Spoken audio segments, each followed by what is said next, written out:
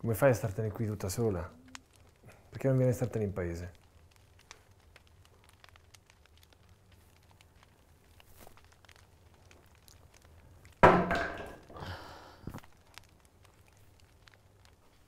Non sono sola, c'è Bruce. Non è un buon momento per i cani. Lo dico per te. Sei la mia unica parente, poi so quello che ti è successo, quello che stai passando con tuo marito in coma. Belle parole da uno che si fa vedere una o due volte l'anno. Io potrei dire lo stesso di te. O no? Senti, non sei venuto qua per parlarmi di qualcosa? Sì. Non si gira intorno. Io ricordo che tuo marito voleva vendere il bosco. Era un'idea del cazzo, è troppo vicino alla proprietà. Potresti ridefinire i confini, magari ti tieni 100 metri, 200 metri di bosco e il resto Scusa, lo ma puoi... a te che cosa te ne frega?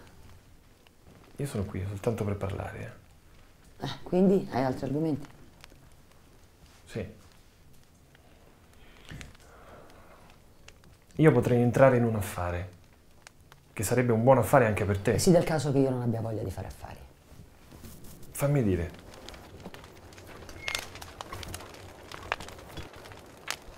La segheria di Morello è in difficoltà e ha bisogno di alberi. È disposto a cedere quote? Sai, ci lavora mezzo paese, sarebbe una svolta per la comunità.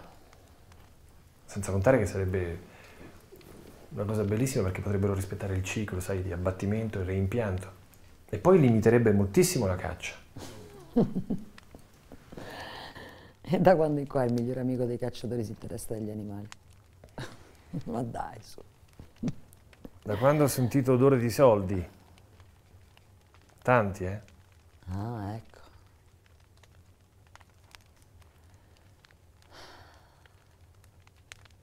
Ho un cancro.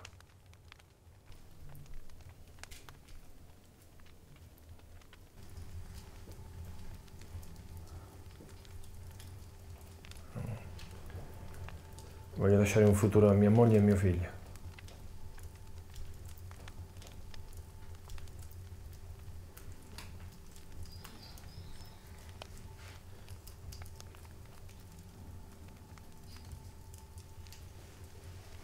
Vattene.